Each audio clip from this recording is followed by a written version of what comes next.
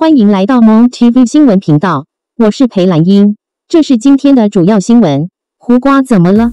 罕见哭到不能自己，佩珍跟着哭，背后原因令人鼻酸。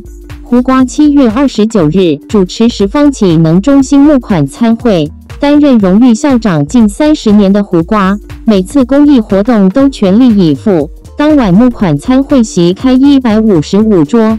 爆满的桌数以及捐款来宾的热情，让来力挺公益活动的佩珍、曹雅文、杜新田、李子森、叶新梅、赖慧茹、郭忠佑、胡世安、林博瑜都感动不已，都直呼这真是好有爱的一个夜晚。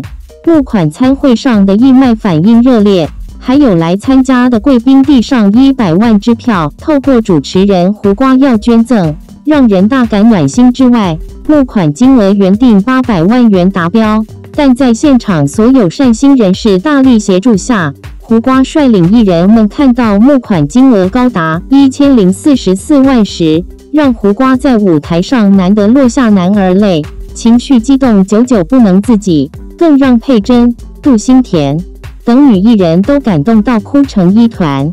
胡瓜说：“真的很久很久没这么感动。”每一位善心人士的姻缘，都是这些孩子的希望。胡瓜说：“主持这么多年，很少有哭到说不出话来时候。综艺天王真性情流露，也让大家动容。